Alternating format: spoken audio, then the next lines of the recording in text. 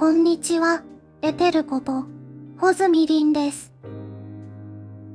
声を出すのが難しい病気を抱えているので、音声読み上げソフトの VOICEVOX を使っておしゃべりしています。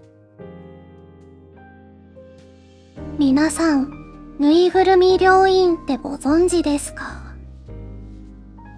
えっと、正式名称は、ぬいぐるみ健康法人、もふもふ会、ぬいぐるみ病院っていうそうです。名前そのまんまですけど、汚れちゃったり傷ついちゃったぬいぐるみさんを手当てしてくれる病院なんです。うちの子だと、辰五郎さんが2020年に入院しました。シミが綺麗に取れ大満足だったので、今回は二人目、アザラシのごまちゃんにも入院してもらいます。申し込んだのは2020年の6月で、入院できるのが2022年の12月ということで、なんと2年半待ちでした。長い間よく我慢したね。ごまちゃん、偉いよ。ごまちゃんは今年で20歳なんです。私、不安障害を抱えていて、不安や恐怖に押しつぶされそうになることがよくあるんですけど、いつもごまちゃんが寄り添ってくれるんですよ。ずっと一緒にいたから、えー、っと、色が変わっちゃってるんです。20年前は真っ白なボディだったんですよ。それが今では、なんだか茶色っぽいです。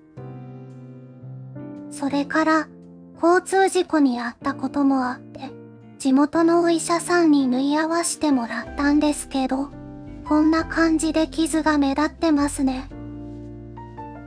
あ、つまり、風呂の事故でお腹が破れちゃって、お裁縫が上手な知り合いに直してもらったっていう意味です。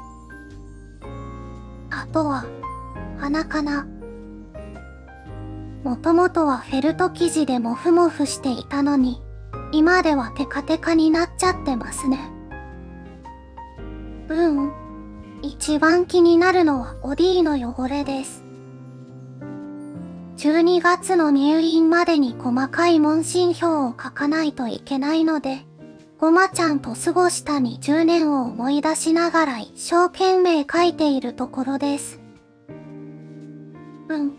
クリスマスとかお正月にごまちゃんがいないのは寂しいけど、今年は我慢ですね。ごまちゃん、綺麗になって帰ってきてね。